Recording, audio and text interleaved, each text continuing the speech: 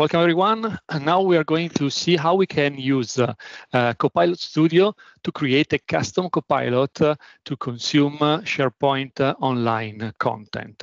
Let me first of all, and like always, set a bit of a context. So Clearly, we all love uh, Microsoft Copilot, but what if we want uh, to create a custom Copilot? So we want to work on a specific set of uh, data or documents that we have, for example, in a SharePoint Online uh, uh, site collection, because we want to create something like uh, an HR Copilot, a research and development Copilot, or stuff like that.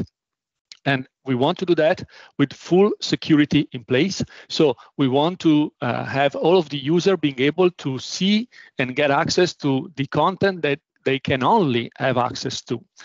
We can do that using a SharePoint Online Site Collection and using uh, Copilot Studio. And we can then have a, a, kind of a bot experience for our end users through which they will be able to query and search with natural language processing and with the Copilot-like style approach, they will be able to search and uh, find information inside the target SharePoint Online Site Collection. That's what we are going to see how we can uh, do uh, in practice. So let me move to the demo and let me show you first of all, how it works and then how we can create uh, such kind of uh, solution. So here I have uh, a uh, sample HR, uh, Contoso HR website, in which I have uh, a bunch of hypothetical um, HR related documents like information about a career path or about hiring procedures or unfortunately layoff procedures, information about the incomes of employees in the US and stuff like that. And just uh, for the sake of completeness, fun enough, all these documents have been generated using Microsoft Copilot for the sake of having a fake uh, set of content available in my uh, in my tenant. So now I have this site collection, and let me already copy the URL of the site collection because I will use it later. But I also have uh, already created a custom copilot with Copilot Studio, and then I will show you how to create one from scratch.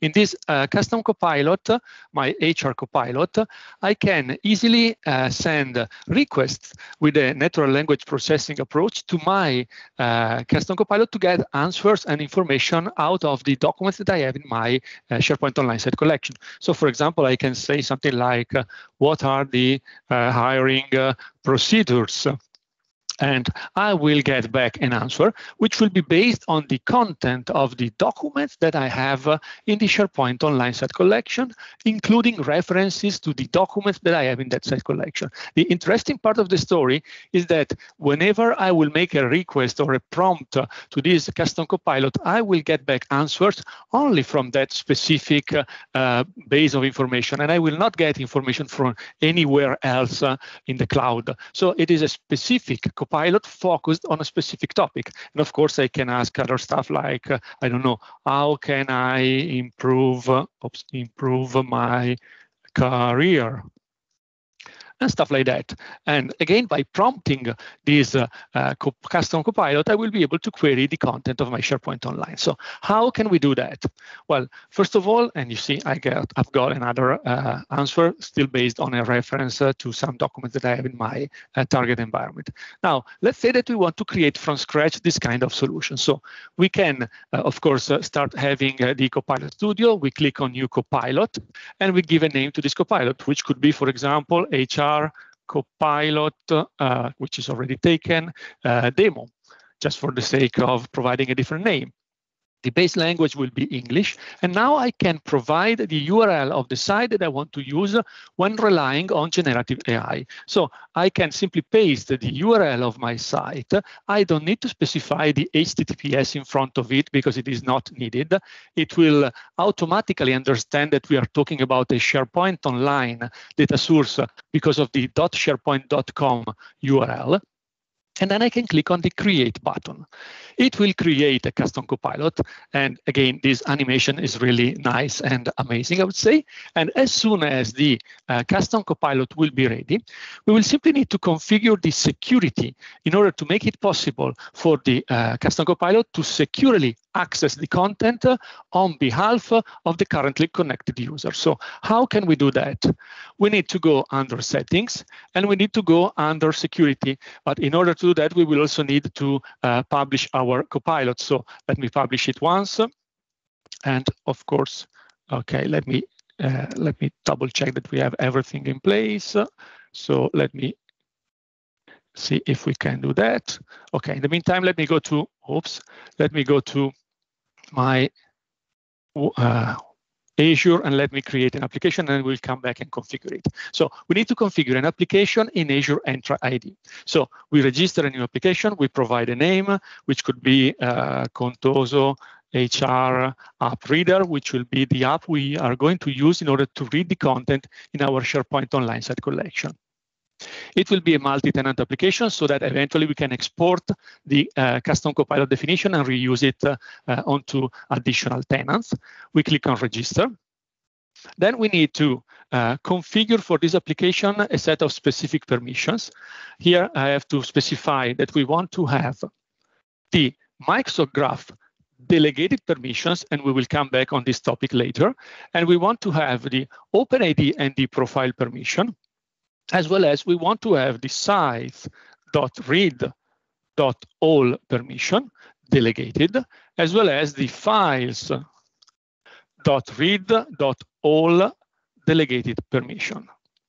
Once we have done that, we grant the permissions to this app as an admin, and we go to the certificates and secret so that we can configure a client secret for this application client secret will be the name or whatever you like, and you can give it a, a duration uh, up to you. Now, let me copy in a, a, notepad file, for example, the value of the secret, and let me also copy the client ID, which is available in the overview section of my uh, ID application. Once I've done that, I simply need to go to the authentication uh, panel and I have to configure this application to work with the web uh, platform. And here I will have to provide a URL, which will be the one that I can get from the Copilot Studio. So let me go back here and let me open again this application. And now we can go under security. In security, we can configure that we want under authentication to use a manual configuration. We copy the redirect URL from the Copilot Studio and we provide it in the URL on the Entra ID application. And we enable access tokens and ID tokens. Once we have done that, we simply need to go back to Copilot Studio. We need to choose the flavor of uh, provider that we want to use, which will be Azure Active Directory v2 should be Entra ID, doesn't matter. We specify the client ID and the client secret of the application that we have just registered. So my client ID here and my secret right here. And by doing that and by saving the application and publishing the application again, we will be able to use uh, this new Copilot. We will also need to go through an authentication process. So the end user will need to authenticate the very first time uh, they will use uh, our custom Copilot. So let me go under Publish, and let me publish this new Copilot built with Copilot Studio. Once it will be published, I will go back to the list and back again to my uh, test interface, and I will be able to show you how the uh, Copilot works. So just a few more seconds.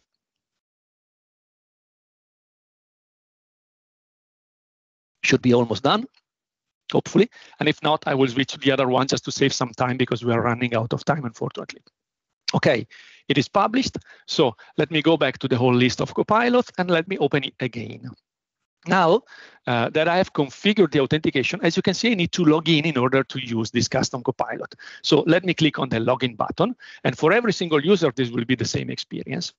I will choose the user identity that I want to use. And I will copy this magic code which I simply need to paste back into the chat with my bot in order to be authenticated. And now I'm able to uh, consume this custom copilot, providing any kind of questions like, I don't know, tell, oops, tell me about uh, uh, the average, average incomes of employees. Oh, come on, Paolo. Okay, here we are.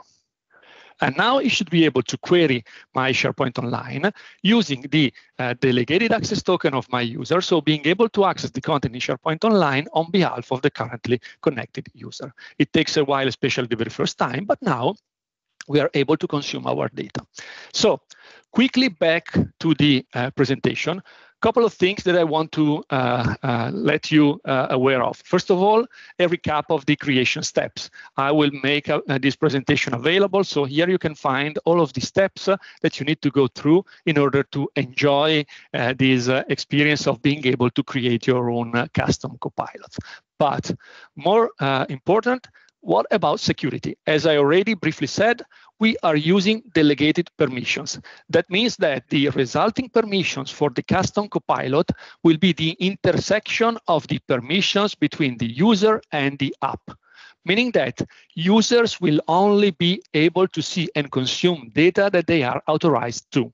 Okay, so no data leaks at all. They will only be able to consume the data that they, that they, they can already see in SharePoint Online plus the fact that using the custom copilot with an application registered in Entra ID, what will actually happen will be that the custom copilot will be able to consume data that both the user and the app have been authorized to. So eventually, you can have a more strict security uh, uh, for the copilot uh, compared to what you have for the current user. So really powerful and really secure.